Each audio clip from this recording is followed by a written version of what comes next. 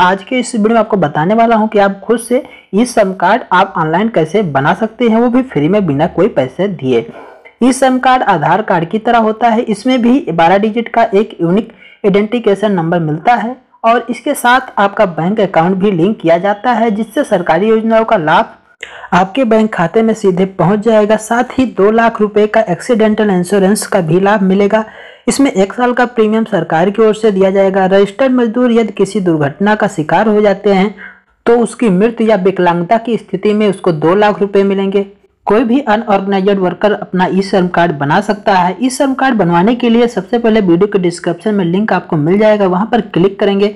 तो यहाँ पे आपके सामने कुछ ऐसा इंटरफेस आ जाएगा। यहाँ पे आपको दिखाई पड़ेगा रजिस्टर ऑन ई सम का ऑप्शन तो सिंपली ई सम कार्ड बनाने के लिए इस पर क्लिक कर लेना है।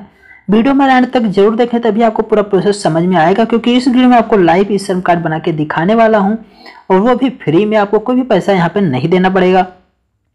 ई श्रम कार्ड बनवाने के लिए सबसे पहले आपके पास आधार नंबर होना चाहिए और आधार कार्ड के साथ लिंक एक एक्टिव मोबाइल नंबर होना चाहिए और आपके पास एक बैंक डिटेल होनी चाहिए, यानी बैंक अकाउंट होना चाहिए और आपकी उम्र जो है वो 16 साल से उनसठ साल के बीच में होनी चाहिए। अगर आपके आधार कार्ड के साथ कोई मोबाइल नंबर लिंक नहीं है, तब आप सीएससी सेंटर से अपना ई श्रम कार्ड बनवा सकते हैं। ई श्रम कार्ड बनाने के लिए सिंपली यहाँ पे आपका जो है आधार कार्ड से लिंक मोबाइल नंबर डालना है और उसके बाद यहाँ पे कैप्चा डालना है। सेम कैप्चा डालना है, जैसे इधर लिखा हुआ। यहाँ पे दोनों जो है नो पर टिक रखना है। उसे हम दोनों नो रखते हैं। उसके बाद नीचे आएँगे और सेंट ओ टी पर क्लिक करेंगे। अब एक ओटीपी आएगा इस नंबर पर और वो ओ टी पी यहाँ पर डाल के सबमिट पर क्लिक कर देंगे। अब यहाँ पे आधार नंबर अपना डालना है। बारह डिजिट का जो आधार नंबर होता है, वो यहाँ पे हमें डाल देना है।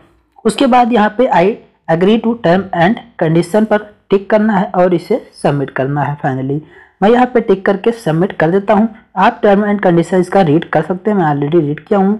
अब यहाँ पे एक ओ और आएगा। वो ओ डाल के वैलिडेट पर क्लिक कर देंगे। अब यहाँ पे एक दूसरा पेज खुल के आएगा। यहाँ पे आपका जो आधार के साथ जो डिटेल होगी, वो यहाँ पे शो कर देगी, यानी पर्सनल डिटेल अब नीचे आएँगे तो यहाँ पे आपको टिक करना है सिंपली आई एग्री करना है और continue to enter other details पर क्लिक करना है। अब पर्सनल इन्फॉर्मेशन की डिटेल आएगी। दोबारा नीचे आना है और नीचे आने के बाद आपका मोबाइल नंबर जो पहले आपने डाला था, वो यहाँ पे दिख जाएगा। कोई इमरजेंसी मोबाइल नंबर अगर डालना चाहते हैं तो इसमें डाल देंगे। ईमेल आईडी कोई डालना चाहते हैं, डाल देंगे। आपका मैरिटल स्टेटस सिलेक्ट करना है। आप मैरिड हैं या अनमेरिड हैं, ये यहाँ से सिलेक्ट कर लेंगे। उसके बाद अपना जो है फादर नेम यहाँ डाल देंगे। और सोशल कैटेगरी अपना जो है, सोशल कैटेगरी सिलेक्ट कर लेंगे कि आप किस कैटेगरी से आते हैं। एस सी एस टी या ओबीसी या जनरल, जो भी होगा सिलेक्ट कर लेंगे। उसके बाद यहाँ पे अपना ब्लड ग्रुप सिलेक्ट कर लेना है। अगर नहीं पता तो कुछ ना सिलेक्ट कीजिए। नीचे आएँगे, यहाँ पे आपको नॉमिनी डिटेल डालनी है। तो नॉमिनी डिटेल अगर आप डालना चाहते हैं तो यहाँ पे एस करेंगे और नॉमिनी का डिटेल डालेंगे। यहाँ पे एस करते हैं, जैसे नॉमिनी का नाम और जेंडर रिलेशन ये डालना है। अगर नहीं डालना चाहते नो रखेंगे और सेव एंड कंटिन्यू पर क्लिक कर देंगे। अब यहाँ पे आता है एड्रेस सबसे पहले होम स्टेट अपना सिलेक्ट करना है। जिस स्टेट में आप रहते हैं, वो स्टेट यहाँ पे सिलेक्ट कर लेना है। मैं अपना उत्तर प्रदेश सिलेक्ट करता हूँ। उसके बाद आपको अपना house number locality district sub district ये सब आपको पूरा एड्रेस आपको डाल देना है यहाँ पे। पिन कोड आपको डाल देना है अपना। और ये सारी डिटेल डालने के बाद में एड्रेस डालने के बाद में नीचे आएँगे। अब यहाँ पे सिलेक्ट कर लेना है कि आप इस लोकेशन पर कितने दिनों से रह रहे हैं, कितने वर्षों से रह रहे हैं।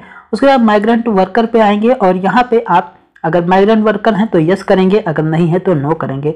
अगर किसी दूसरे राज्य में काम करते हैं तो यहाँ यस करेंगे और उसके बाद यहाँ सिलेक्ट करेंगे कि किस काम के लिए आप दूसरे राज्य में हैं। उसके बाद यहाँ टिक करेंगे और सेव एंड कंटिन्यू पर क्लिक कर देंगे। अब यहाँ पे एक दूसरा पेज खुल के आएगा और यहाँ पे आता है पेज एजुकेशन क्वालिफिकेशन का। तो यहाँ पे जो भी आपकी एजुकेशन क्वालिफिकेशन है, वो आप सिलेक्ट करेंगे।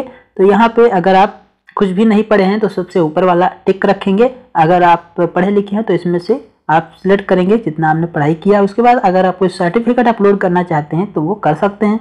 उसके बाद यहाँ पे आपकी मंथली इनकम जो है, वो कितना है, यहाँ पे आपको सिलेक्ट कर लेना है। अगर आपके पास कोई जो है इनकम सर्टिफिकेट है तो अपलोड करना चाहते हैं, कर सकते हैं। ज़रूरी नहीं है यहाँ पे। सेव एंड कंटिन्यू पर क्लिक करेंगे। अब यहाँ पे ऑप्शन एंड स्किल का ऑप्शन आता है। तो यहाँ पे एक ऑप्शन आप मतलब काम क्या करते हैं? तो काम जो भी करते हैं, यहाँ पे आप टाइप करेंगे। अगर यहाँ पे जैसे ही आप पहला अक्षर टाइप करेंगे तो लिस्ट आ जाएगी आपकी काम की। उसमें सेलेक्ट कर लेना है आप कौन सा काम करते हैं, कुछ इस तरह से। अगर लिस्ट नहीं आती है, आपको यहाँ पे जो टाइप करते हैं, वो एरर दिखाता है। तो यहाँ पे आप सिंपली आई बटन पर क्लिक करेंगे, यहाँ पे आई बटन दिया हुआ है। अब आई बटन पर क्लिक करने के बाद में आपको एक पीडीएफ मिलेगा और पीडीएफ में सभी का जितने भी काम करने वाले लोग ई श्रम कार्ड बनवा सकते हैं, उनके कोड दिए हुए हैं। तो वो कोड वहाँ से नोट करना और यहाँ डाल देना है। अब यहाँ डाल देना है कि आप ये काम कितने दिनों से कर रहे हैं। उसके बाद आपका कोई सेकेंडरी काम है, कोई दूसरा काम भी करते हैं तो उसकी भी जानकारी यहाँ पे नीचे देनी है। यहाँ उस काम को भी डाल सकते हैं आप। और यहाँ पे कोई सर्टिफिकेट है तो वो भी अपलोड कर सकते हैं, ज़रूरी नहीं है। अब नीचे आएँगे स्किल टू बी अपग्रेडेड वाले ऑप्शन में और यहाँ पे आप, अगर आपने कोई काम की ट्रेनिंग ली है कहीं से तो वहाँ पे ऊपर वाले पर टिक करेंगे। अगर कोई ट्रेनिंग नहीं ली हुई है तो नीचे पर टिक करेंगे और सेव एंड कंटिन्यू पर क्लिक कर देंगे। अब एक दूसरा पेज खुल के आएगा यहाँ पे बैंक डिटेल का। तो यहाँ पे जैसे पहले बताया था बैंक डिटेल यहाँ पे आपको देना है, क्योंकि जो भी सरकारी योजनाओं को लाभ मिलेगा, वो सीधे बैंक अकाउंट में मिलेगा। तो यहाँ पे अपना बैंक अकाउंट नंबर डालना है, उसके बाद दोबारा वही अकाउंट नंबर कन्फर्म कर देना है नीचे। उसके बाद अकाउंट होल्डर का नाम, यानी नाम डालना है ब्रांच डालना है। तो ब्रांच कैसे डालना है, यहाँ पे आईएफएससी कोड डाल के सर्च करेंगे तो आपका बैंक का नाम और ब्रांच ऑटोमेटिक आएगा। सेव एंड कंटिन्यू पर क्लिक कर देना है। अब यहाँ पे आपका प्रीव्यू दिखा देगा, पूरी डिटेल जो आपने डाली हुई है। वो यहाँ पे दिखा देगा। आपको चेक कर लेना है कि सारी डिटेल जो आपने दी है, वो सही है या नहीं सही है। अगर नहीं है, सही है तो दोबारा सुधार कर लीजिए। सही है तो यहाँ पे टिक कीजिए और सबमिट पर क्लिक कीजिए। अब यहाँ पे हम सबमिट पर क्लिक करते हैं। अब एक ओटीपी आएगा और ओ टी पी यहाँ पे डाल देना है और वेरीफाई पर क्लिक कर देना है। तो ओ टी पी यहाँ पे आ चुका है और डाल कर वेरीफाई करते हैं, दोबारा टिक करते हैं सबमिट करते हैं। अब सबमिट करने के बाद में नीचे हम आते हैं, यहाँ पे आप देख सकते हैं यू ए एन कार्ड जो हमारा, ये बन चुका है कंप्लीट यहाँ पे आप कार्ड देख सकते हैं, थोड़ा ब्लर कर देते हैं इसको। अब इस तरह से आप ऑनलाइन घर बैठे अपने मोबाइल फ़ोन से फ्री में जो है ई श्रम कार्ड बनवा सकते हैं, बना सकते हैं।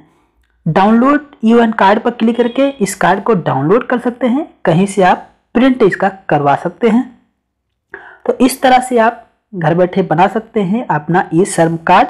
उम्मीद करता हूँ वीडियो हमारा पसंद आया। वीडियो पसंद आया तो ज़्यादा से ज़्यादा इस वीडियो को शेयर कीजिए और लाइक कीजिए। चैनल को अभी तक सब्सक्राइब किया सब्सक्राइब कर लीजिए, साथ बेल आइकन को क्लिक कर दीजिए। आज के इस वीडियो में इतना